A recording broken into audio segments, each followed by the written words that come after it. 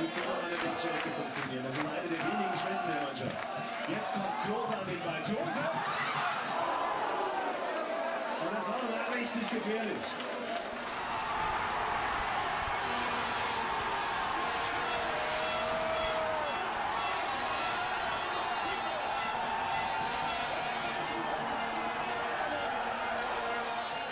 Da drüben sieht er Tobiaski, Lukas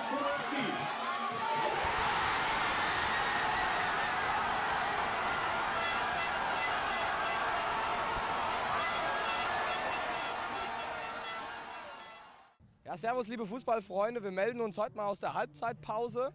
Wir sind heute in Ottels Biergarten und das Spiel zwischen Deutschland und England ist schon im vollen Gange und es ist ein heißer Kampf. Ja, heiß ist ein super Stichwort. Heute ist nämlich sozusagen alles heiß. Das Spiel ist heiß, das Wetter ist heiß, im Zell ist es sau heiß. Es gab heiße Entscheidungen, die Stimmung ist am Brodeln und wir gehen jetzt wieder rein und freuen uns super auf die zweite Halbzeit. Bleiben Sie dabei, es ist wichtig, dass man sich erkennen kann und dass man weiter diskutiert. Ja, ich finde, die, wir müssen uns an die Regeln halten, die gelten. Und danach äh, sind es Tatsachenentscheidungen.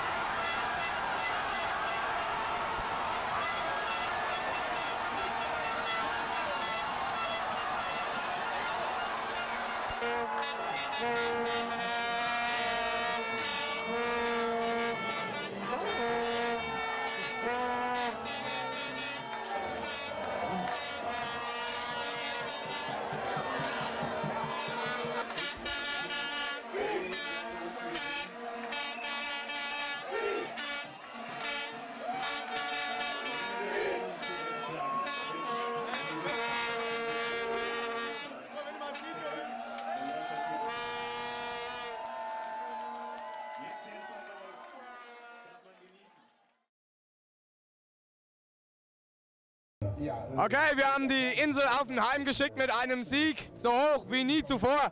Sag mal, Alex, wie findest du das? Ich finde es hundertprozentig. Ich habe zwar kein eines Tor gesehen, weil irgendwelche Idioten sich die ganze Zeit auf die Bank gestellt haben. Aber dass wir not, äh, gewonnen haben, fand ich super in Ordnung. Ja, und diese ganzen Vuvuzelas und so ein Käse. Aber was soll's, wir verabschieden uns. Ihr schaltet auch das nächste Mal wieder ein, wenn es heißt, zwei siegreiche Boys bei Stadt auf dem TV.